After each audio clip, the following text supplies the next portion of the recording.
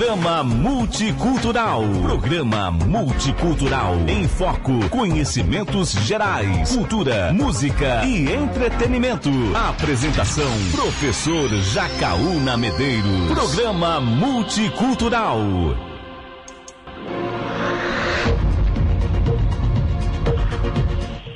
E eu estou aqui com o Evandro Sinota. Ele é autor do livro Não, Senhor Comuna. Segundo aqui as informações, ele vai falar um pouco mais claro já já. É um guia para desmascarar as falácias esquerdistas. Eu entrei em contato com ele, disse, olha, seria muito bom contribuir com o nosso programa multicultural, que é voltado a muita informação, e ele também pode trazer questões sobre economia, até sobre ideologia, entre outras, ligadas aí, não só ao livro, mas também da sabedoria que ele adquiriu ao longo do tempo e continua adquirindo. Evandro, bom dia. Bom dia, Calma, tudo bem? Tudo certo, graças a Deus, tudo tranquilo. Seu livro aqui, Não Senhor Comuna, né? Um guia para desmascarar as falácias esquerdistas. Fala um pouco desse seu livro, por que você pensou em escrevê-lo, quais foram as ideias? Bom, Calma, eu, eu tive essa ideia há uns três anos. Eu fiz uma série de posts na época do Facebook aqui, meio desprenciosamente, né? E, e, eu pegava uma mentira da esquerda explicava por que é mentira. Então, por exemplo, uma mentira que a esquerda vive falando, que os socialistas, os comunistas, a esquerda vive falando. No capitalismo, os ricos ficam mais ricos, os pobres cada vez mais pobres. E eu explicava por que, que isso é mentira no livro, que isso não tinha um fundamento. Que, na verdade, os ricos melhoram de vida, mas pobres também, porque o capitalismo não é um jogo de soma zero. Né? O que, que é um jogo de soma zero? O jogo de soma zero é um jogo que, para alguém ganhar, alguém tem que perder. Por exemplo, o poker é um jogo de soma zero. Se eu jogar poker aqui com você e cada um de nós apostarmos 50 reais, o único jeito de eu ganhar os 100 reais é você perder os 50 reais que você apostou. Isso é um jogo de soma zero. O capitalismo não é um jogo de soma zero. O capitalismo é um jogo em que a economia vai se expandindo, na verdade.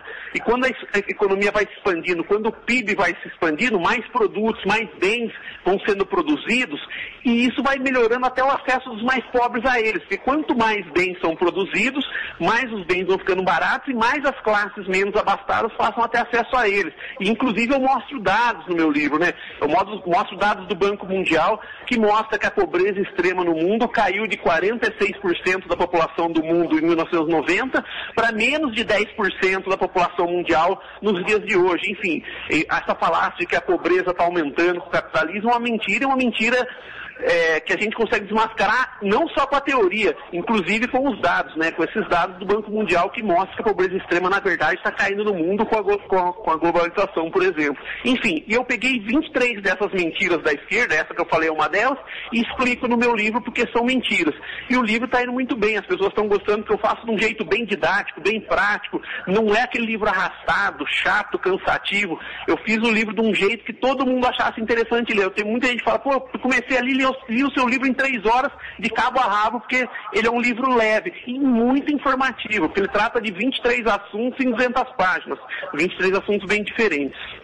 Então, é por aí, então. Então existe essa demonização, você sabe, né? Tem, há uma demonização né, com relação ao capitalismo, né? Selvagem, que as pessoas passam fome e necessidade, existem os opressores e o pessoal oprimido. É, é uma conversa toda de esquerda, não é isso? Não é isso. Sim, com certeza. É uma conversa, como eu disse, não tem, não tem fundamento nenhum. É, é uma teoria que eles tentam vender para para sensibilizar as pessoas que têm menos conhecimento, e é isso que eu tento fazer com o livro. Eu tento mostrar que isso não tem, não tem fundamento algum. Então, o pessoal lê um livrinho lá de 200 páginas, ela sai completamente vacinada contra esses esquerdistas que tentam vender a ideia de que o capitalismo está fazendo mal para os pobres, quando, na verdade, os pobres, o, o, os países socialistas, na verdade, têm dois tipos de classe, né? A classe do, dos amigos do rei, que é aquele 1%, e o resto, 99% da população é pobre. No capitalismo, não. Tem pobre, tem médio, tem rico, mas o capitalismo não é um sistema de castas, por exemplo, como que você está condenado a ser pobre pro resto da vida. Você pega muitos milionários, muitos bilionários hoje são, foram pobres na infância. A gente já pode falar de um Silvio Santos aí que foi pobre. Eu cito no livro Jorge Soros, que é um multibilionário hoje, que é até esquerdista, e por, contraditoriamente é esquerdista, mas o cara foi balconista.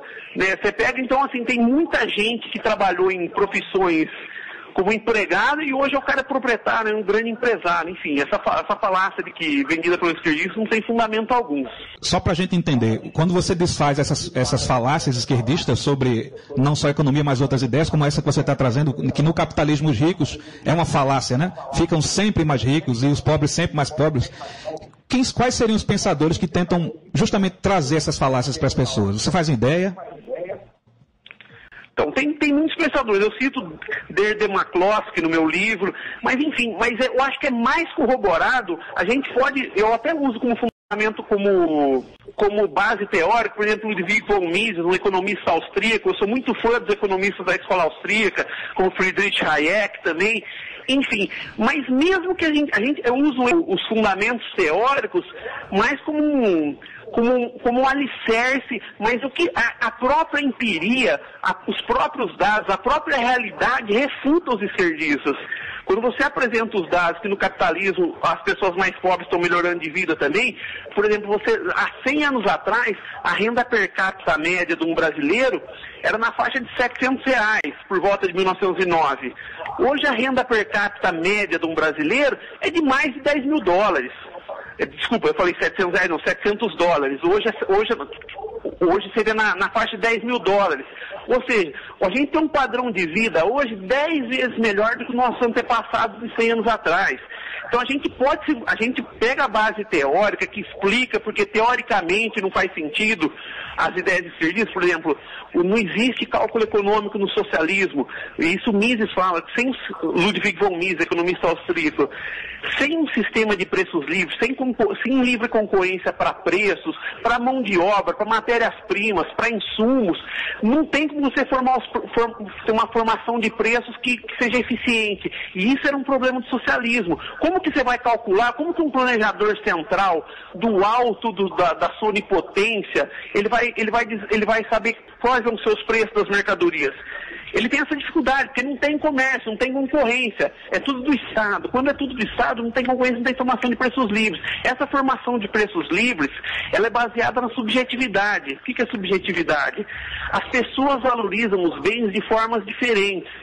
Então, um planejador central, ele não tem como saber o que uma pessoa especificamente pensa e deseja. E isso é o que o mercado faz. Muita gente fala, ah, o mercado é opressor, não sei o quê. O que, que é o mercado, na verdade? Vamos explicar para as pessoas o que é o mercado. O mercado, na verdade, é o conjunto das pessoas da sociedade.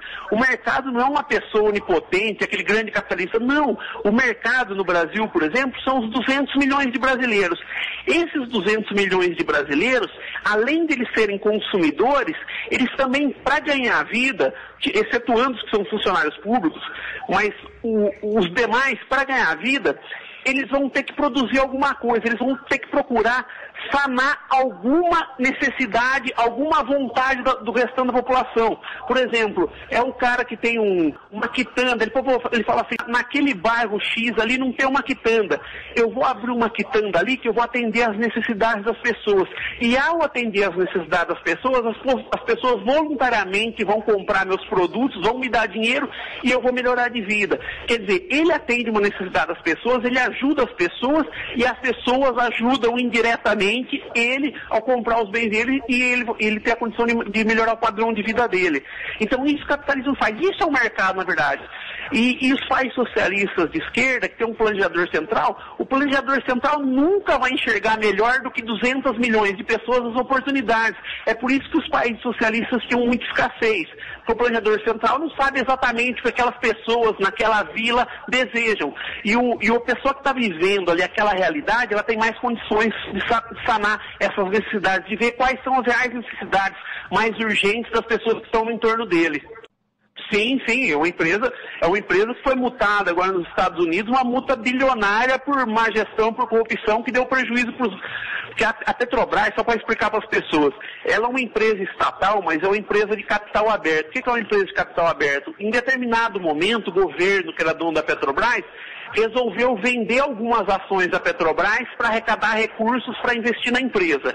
E tem muito investidor da Petrobras que tem essas ações da Petrobras, ou seja, que é dono de um pedacinho da Petrobras, que não aceita isso que foi feito aqui no Brasil com a empresa. Aqui no Brasil, a gente, a gente a, a, o, o, Estado não protege o, o acionista minoritário da Petrobras que foi prejudicado com esses desmandos das Petrobras, fez cair o preço da ação, fez a empresa ter prejuízo, pagar menos dividendos, que quando a Petrobras tem lucros, os acionistas também lucram os dividendos. Não é só o Estado brasileiro que lucra, os acionistas minoritários também. E tem muito acionista, por exemplo, nos Estados Unidos, que não aceitou isso.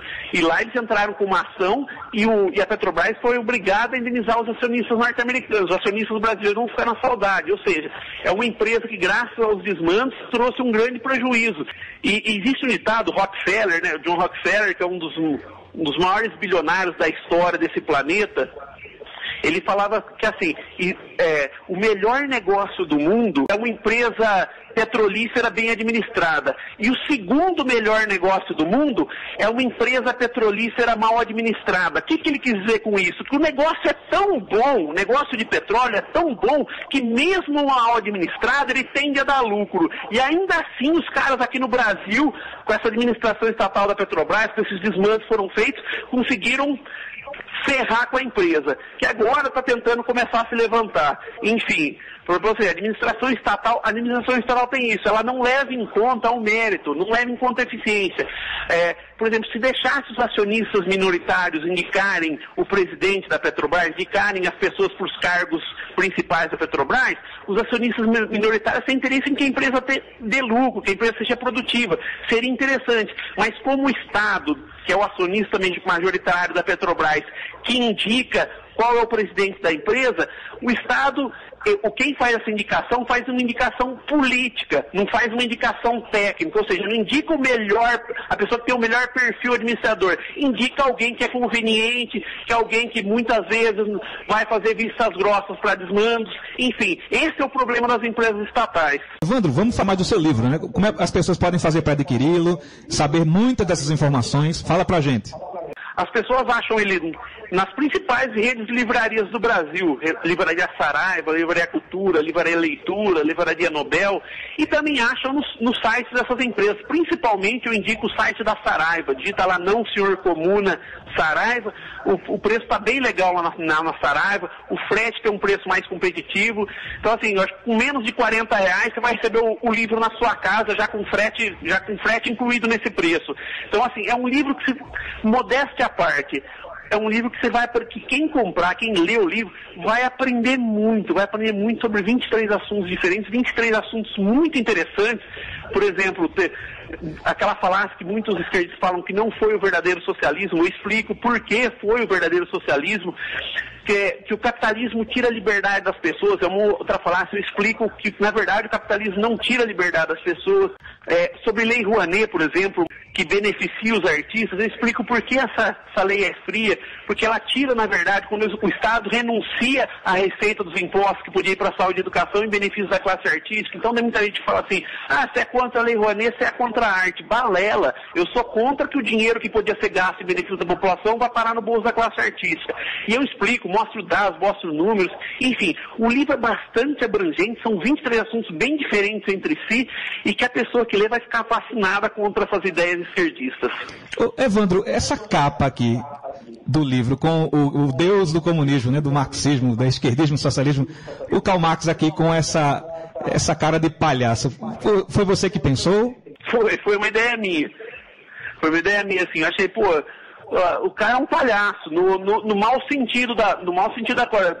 A gente gosta dos palhaços da vida real, aquele de circo, mas aquele palhaço na, naquele, naquele outro sentido, aquele sentido mais pejorativo da coisa. Fala, pô, esse cara é um palhaço. Nesse sentido assim, falei, pô, quero botar ele com o nariz de palhaço na capa, porque as ideias dele são, são muito furadas e, e a aplicação das ideias dele na prática por mais que, que, as pessoas possam, ninguém, claro que ninguém aplica as ideias do cara exatamente do jeito que o cara falou, mas a aplicação das ideias dela, independente de terem sido algum grau de deturpação, claro que ninguém aplica, se eu tiver uma ideia que alguém for aplicar na prática, ninguém vai fazer exatamente do jeito que eu falei.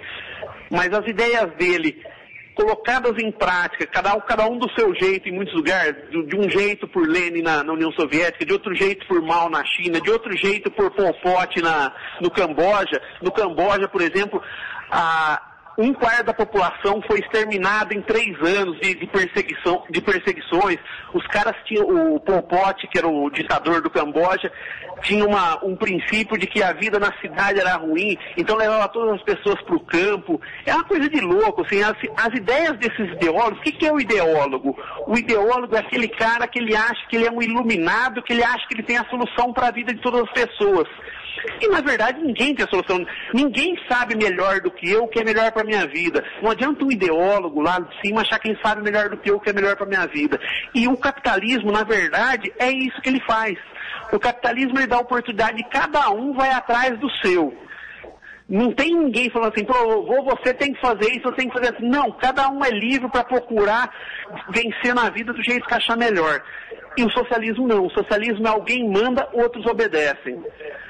Qual, é, é, é, bem básico para mim. Qual sistema traz mais liberdade? Logicamente, capitalismo. Claro que é claro que cabe ao Estado ajudar as pessoas temporárias ou, ou permanentemente não têm condição, condições de, de manter a sua sobrevivência. O Estado deve ajudar, o Estado está aí para isso. Mas, enfim, mas tirando essas pessoas que o Estado precisa ajudar, as outras pessoas elas são livres para ir atrás dos seus próprios objetivos. Muito bem. Evandro, só mais uma pergunta. Para segui-lo em redes sociais, como as pessoas podem fazer? Para saber das suas ideias, para ver o que você tem colocado? Eu, eu, eu chamo Evandro Sinote, né? Evandro Sinotão, tá meu Facebook. O pessoal pode me adicionar lá. Tem a página do meu livro também que chama Não Senhor Comuna. Tem duas páginas, uma chama Não Senhor Comuna, outra chama Não Senhor Comuna Livro. Uma está com 70 mil curtidas, outra com 20 mil curtidas. O pessoal pode me contatar por lá, pode perguntar, entrar em contato comigo. Eu respondo com todo prazer a galera lá, sim. Vai ser um prazer tirar a dúvida do pessoal. Muito bem, Evandro Sinote, eu agradeço muito pela sua colaboração e, se você estiver disponível nos próximos sábados, a gente vai continuar conversando sobre as outras falácias que você mostra no seu livro aí, Não Senhor Comuna. Ah, beleza. Bom dia, um abraço. Tchau, tchau. Um abraço, tchau, tchau. A gente conversou com Evandro Sinote.